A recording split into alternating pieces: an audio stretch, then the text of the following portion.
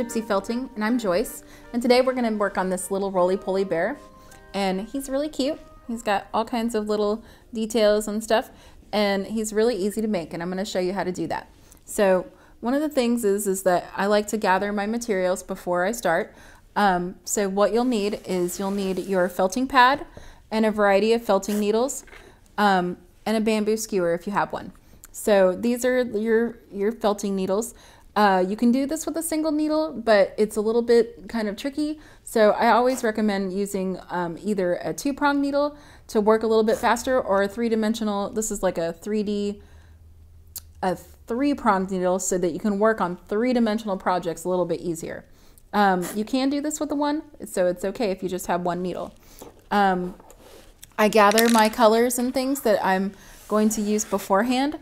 So I have a lot of different little colors here for the details and then you'll need the most of this kind of brown because that's our main color. So think about um, like four or five pieces just like this or maybe about a quarter of an ounce of yarn of wool. Um, this is also what you'll need more of as well. This is the core wool which is kind of wool batting or kind of the plain wool. Sometimes people have this and it's already brown. Um, and this is what we're going to use to create our sphere, which is what our, our little ball, which is what our bear is modeled after. So to get started doing your ball, bring in your felting pad. I'm going to put this down. And take your wool roving and we're going to build a sphere by rolling it into a little ball right here. So just as if you were kind of squishing it with your hands, rolling it up, Remember that fiber compresses, so even that even though that looked like quite a lot of fiber, when I let it go, it is still pretty fluffy. So, but when it, when it compresses, it gets kind of tiny. So, if you just kind of take it, take your needle, start poking it. You're going to use like very deep into the wool pokes to get this all compressed. And we're going to continue doing this for about five to 10 minutes. I know that seems like a long time, but once you get started, it doesn't seem, it seems like it'll go really fast indeed. So of course, if you have a multi-tool, you can use your multi-tool to help you along because this is three times as fast as a single needle. So, so after about 10 minutes, this is what your, your ball will start to look a little bit denser and deeper and you can kind of say, do I need more? Do I need to add some more to that? You know, maybe I don't, maybe I do. Um, then we can get started covering the ball with a different, with the, the outer coating of the bear. So you take your brown roving or whatever the main color of your body is going to be and you pull it apart gently. If you're having difficulty pulling the pulling the wool from the roving, um, you can see how that's kind of like, oh, can't get it out. You have to just remember to go to the end and gently tug, and you will find the natural break in the wool, and you can get it off pretty easily that way. So you don't need a whole lot to start covering your bear, but what you want to do is you want to lay it down really smooth so that you don't see any of the white underneath. And at least when you have white underneath, you definitely can tell whether you whether you're covering it or not. Um, and we're going to lay it really smooth and then we're going to take our, our needle and we're going to do, instead of really deep into there, because we, we don't really need to get too super deep in there, we're just going to kind of poke along the surface. So this is like the shallow jab that I call. And you can start as it's going into, into there. And the smoother that you put your down your wool, if you lay it real smooth and real kind of continuous, you'll get a nice kind of smooth texture on this little bear right here. So once you have your ball completely covered, then we can start to think about where do you want your, your face to be. So when now we have this ball and it's completely covered. And of course, as you're working this ball, it's going to get a little bit tighter and tighter as you keep working it because that's the nature of felting. It starts to compress and it starts to kind of tighten things up. And to make your um, little ball look even smoother, you can roll it between your hands and that helps to smooth the fibers out as well. So when I go to, to make the little face on this bear, I kind of kind of figure out where where he looks best standing up. You know, I imagine that he's already got his little arms and legs on him, and I'm going to put this face like right here. So I take my bamboo skewer and I'm going to use this to create a little bit of the face, the muzzle for the bear. I take my little bit of white right here that I have and I'm going to wrap it around the tip. So wrap it around the tip. If you ever find like little bits and things in your wool because you know this came wool comes from sheep and sheep are natural creatures and sometimes you just have a little bit of the barnyard left into the wool. So you can just kind of pick that out of your way don't really worry about it it's not a big deal. Okay so we have this wool we've wrapped it around the tip. We're going to slide it off and it doesn't have to be super tight it can be kind of loose. And then we're going to kind of pinch it so that we have this kind of little bit of a cottony fluffy thing going on right there so then you're going to hold it against where you want your face to go just remembering to give it enough room so that you can create more details down here. And then you're going to start to poke with your single needle all the way around the edge. We're not going to necessarily poke too much in the middle yet because we want to retain that kind of little poofiness, that kind of cotton bally thing going on here. And that'll give us a little nice muzzle. But if we actually keep going just around the edges, you can see how it'll start to make that little detail right there.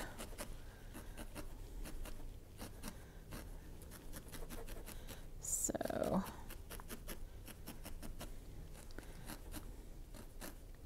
And you know, you can always add more wool if you feel like you don't have enough on there. You can always add a little bit of another layer. I'm just going to kind of holding it down right here. You can start to kind of imagine that there's a little mouth down there. Even though it's not there yet, we'll make one later. Just be careful not to poke yourself. So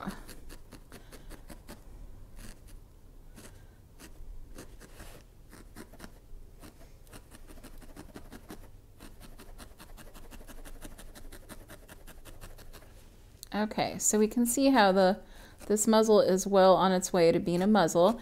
It's a little bit softer than the surrounding bear, but that's going to be okay because we're going to keep going and keep adding to it and working it. So I want to get a, like a little bit smoother line, so I'm just going to put some more white around it. And you can kind of gather the wool with the edge of your, your needle and just kind of poke in there. So you kind of gather it. The, these barbs are like really sensitive in that they'll grab the tiny, tiniest little fibers. You can kind of just delicately sweep up the little edges and your edge becomes really nice and clean by poking all the way around. See, I haven't once poked in the middle. I'm going to poke in the middle of this when I go to add the nose at the end and the little mouth area. So now we have a little, what looks like a little brown ball with a little white little spot on it. And I promise that this is going to turn into a bear. Okay, so now you get your next color which is we're still working on the face and we're going to do like these kind of big eye spots right here. And you take just a little bit of roving. This might even be too much. And you kind of gently turn it into a little circle and put it against where you want it to go. And then needle felt it down with your single needle.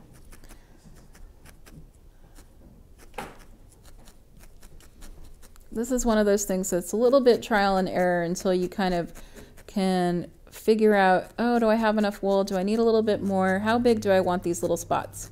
Um, if you run into a section where you've just like, oh, I put too much wool, you can always peel it out. It comes right out. Um, about the only time it won't come out is when you've been like, er, er, just really poking it in there. Um, and then you can always cover over it. All right. So needle felting is really forgiving. It's really easy to do. Um, people 8 to 80 can do it. So just kind of working on our little eye spot. We're going around. This one I want to be more flat, so I am going to needle it in the center.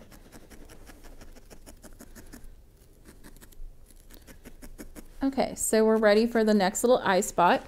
We can actually see how it's kind of coming along there. And I have my little piece of roving that I've been poking. And I'm just going to work it all the way around in a circle right here. I like to put the face on because um, the face gives me a good place to know where my limbs are going to go. If I was to attach all my little limbs and I'll make my little feet and things, then I might get like I might not have room for my face afterwards. I might be going, where do where did I was going to put that face? I knew it was going to go around here somewhere. So I kind of like to do it this way. Um, sometimes I might build the face before I even cover the bear and then kind of cover the bear around it. It's just a matter of whether you want to work on top of something or you want to you want to cover over something or you want to like kind of carve out a little little place for your face first and then put your roving around it or your body covering. So that's pretty good. They're almost the same size and that's one of those kind of little details that you can just kind of keep looking at it and go back and figure it out. So now we're starting on going to make the limbs. So let me show you how to do that. So you get more of your brown roving because these limbs match the body covering. So I like to split my roving into several sections. Probably this is about a half an inch wide and it's about four inches long and that should be plenty. I'm not going to do a core. You Some people, if it was a bigger bear, you could make a core um, limb or a little leg or, or paw or whatever and then you could cover it with the outer coating when the reason why we make stuff with a core inside of it is just to save on the nice coloring of your wool. Sometimes the colored wools are more expensive, so if you use like an inside core of the plain stuff, you don't really waste your nice pretty colors. So we're going to use the bamboo skewer again, and this time we're going to make simply a little bit of, we're going to start farther down and wrap it around. And we're just going to make kind of like a little sausage shape or cigar shape right here. And you can actually kind of start to, you're starting to felt it just with the compression of your hand. And you're going to turn this around and around in your hand. And that starts to actually felt it, even though it doesn't seem like it is, it really is. So then you slide it off, and then you can take your needle and you can poke it. So as you poke it, kind of needle it up and down, you're going to want to leave one of the ends kind of loose and free because we're going to, that's where we're going to attach our limbs from. So that is how you start a limb and it's pretty soft right now, but as you keep needling it, it's going to firm up. So here's some limbs that I was working on before. So I have, this is, I kind of make like a couple of big ones and a couple of small ones for the arms and then a couple of bigger ones for the legs. I like to make all my limbs at the same time so that I know that at least two of them are going to match and pretty close. Sometimes if you don't, then you have like one leg is really big and the other leg is really small and it looks really weird. But okay, so you've made all four limbs and you have rolled them between your hands to kind of compress them and make them a little bit more solid. And now we've got two limbs for the arms and we've got two limbs for the legs. And sometimes it's kind of like sometimes you forget which ones you've done, but just try to do the best you can and make sure that you know, kind of like, okay, those are two big ones. You can always cut off like kind of this one obviously is really long and that one's really thin. You can cut off little bits and pieces. I've also made some ears the same way, except that these ones kind of were really tiny and they came out really a little bit and I made them more tapered on one end, just like an ear. And I made a tail too, and it was just like a really fat ear. So now I have all my little pieces and we're gonna show you how to put them on. So if I was gonna do the, let's do the kind of upper arms first. And this works for attaching any kind of, of um, whatever, whatever it is that you're attaching, an ear, a leg, whatever you have. So I kind of gauge to where I want the leg and I'm going to take the end that is still a little bit fluffy. I haven't needled it too much. It's still kind of loose. Can even kind of spread it out to be a little bit looser, but it shouldn't be necessary. You kind of hold it against to where you want it to go. Take your needle and you're just going to start needle felting this extra wool back into your other project. This really is helpful if it, especially if the wool matches the outer covering, so you don't have to really do a whole lot of work that way. And just kind of hold him against your body and or against his body rather and needle felt all the way around. You can also like kind of open him up and you can see if he how loose he is or how firm he is attached and you can kind of go back in to the little armpit over here and kind of needle felt some more.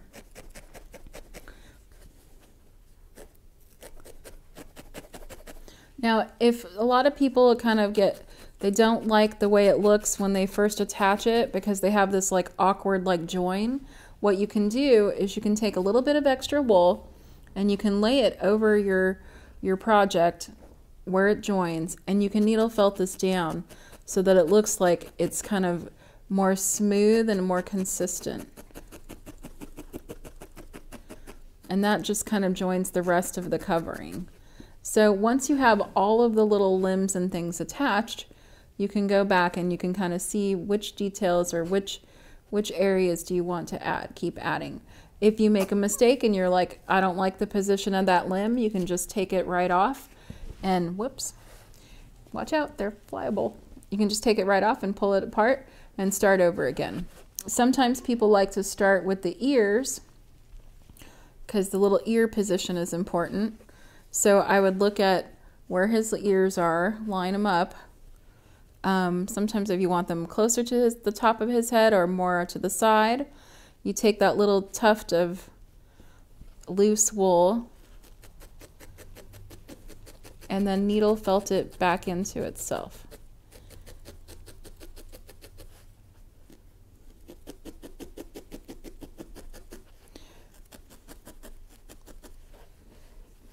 So, kind of lost another lost my other ear somewhere. Oh no, there it is. I found it. So here is my other ear. And then you can just do the same thing on this side. Sometimes when you have the the other ear can actually, or the other, putting two of the same things, like put both of the front legs on, put both of the ears on. That way you know that you're getting them symmetrical as opposed to not getting them symmetrical. So we have their little ears are already attached. So if I was going to go back and let's pretend that we already have our legs and stuff on and I wanted to add some details to this little bear, you can be aware that your single needle can be used to actually create like a sculptural element. This is especially um, useful when you have something that's kind of poofy. So if I was going to go back and add a nose to this little bear, I start by needling where I want my nose. And I'm just kind of doing this in a roughly little triangular circle. I don't even have any color yet. You can start to see how I'm making like a little Y kind of muzzle. And I'm doing this by needle felting along a line and kind of doing it very firmly and doing it in this along the line that I want to be kind of compressed.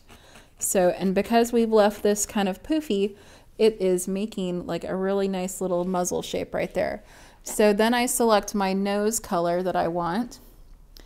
And I just need the tiniest bit of wool. It's not even, you could lose this. This could be like something you pick off your clothes or something like that.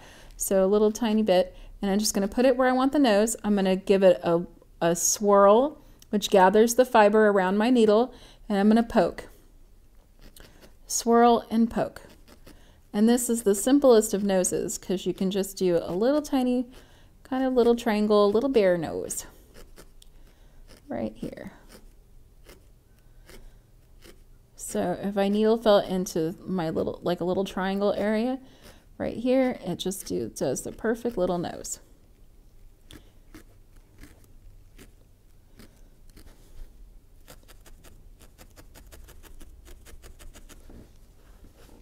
So now I want to add another little detail. So I'm going to take Maybe I'll do a little tiny bit of black right here so that I can add them like a, the mouth line. And I'm just to start from the center of the nose. And once again, it's just the tiniest little bit of fiber, but you can see what a sharp line it makes when I start to, to needle felt it in the direction I want it to go. I actually like so small, I could I almost lost it on my sponge. But it's just the tiniest bit. Start from the center, work your way down And there it goes.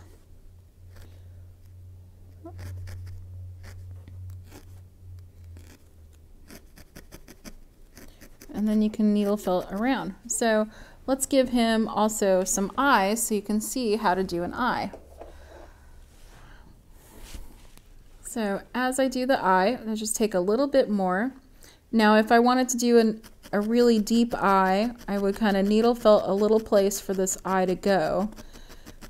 And this is kind of like you're creating like a little space for it to go. Can you see how that is making like a little dimple? And then I can take my wool and I can just kind of fill in that little dimple. So I already know about how big it's going to be because I made that little space. It's very handy to do. Now if you don't feel like needle felting eyes, you can always sew eyes on.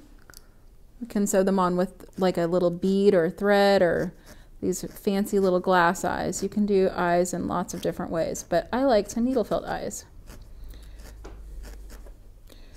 And this little eye is pretty simple because it's just going to be the eye spot and the pupil, and that's it.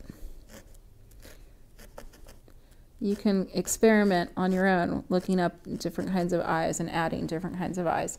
So before I do anything else to this eye, I'm going to go back over here and make an, a matching eye.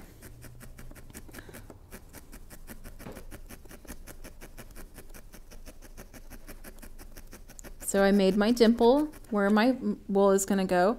I have my little bit of black wool and now I'm swirling and poking into the center. You always work around the edge so that you can retain the little bit of three-dimensional kind of relief thing going on right here.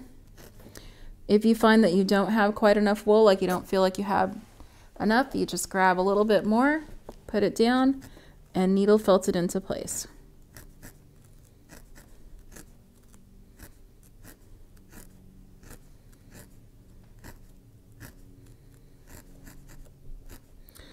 The best thing about when you're adding the details is to go a little bit slower. Um, just kind of think about it and then just go. Don't be afraid of it. Just you can do it. So now the little finishing details, I'm going to add a little spark of life right here. And I want to see where the little bit of white is going to put it in one corner over here and then kind of in the corresponding corner on the other side. So tiny bit of white, swirl, poke, and it's pretty much very, very easy to do. Swirl and poke. And you can see how this little guy has come to life.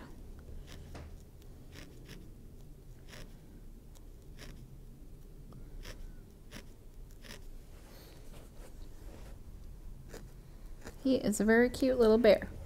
Um, one of the other details that you can do is you can add things like some color in the ears to kind of give him a little bit of dimension. Just put your ear against the pad, kind of needle felt a little bit. Have to kind of be aware that there might be a little bit of poke through on the other side of that color, but it's easy because you can just kind of trim it off. So if you have any kind of color that comes through where you don't want it to. So giving him a little bit of color on his ear.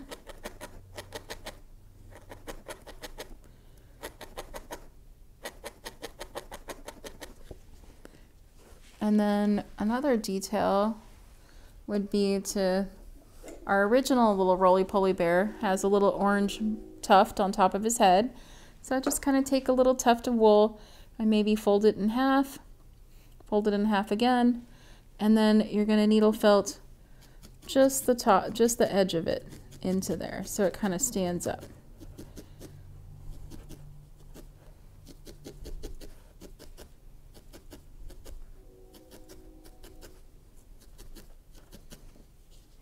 So with just a few little finishing details, you can see how he has gone from being kind of a plain bear to being kind of a really fun bear. So now that you know the basics of kind of attaching your limbs and adding details, you can start to make your own little roly-poly bear. And um, if you have any questions, you make the core first. So you make the core and then you cover the core and then you gather your palette and make the limbs. We have little limbs over here. So make your limbs and then attach them and add details and finish your roly-poly bear. Thanks for watching Gypsy Felting. If you have any questions, please uh, enter them in the comments below. And don't forget to follow along for more adventures in needle felting, subscribe to this channel, and visit my Etsy store for supplies and kits for the projects featured here. Thank you.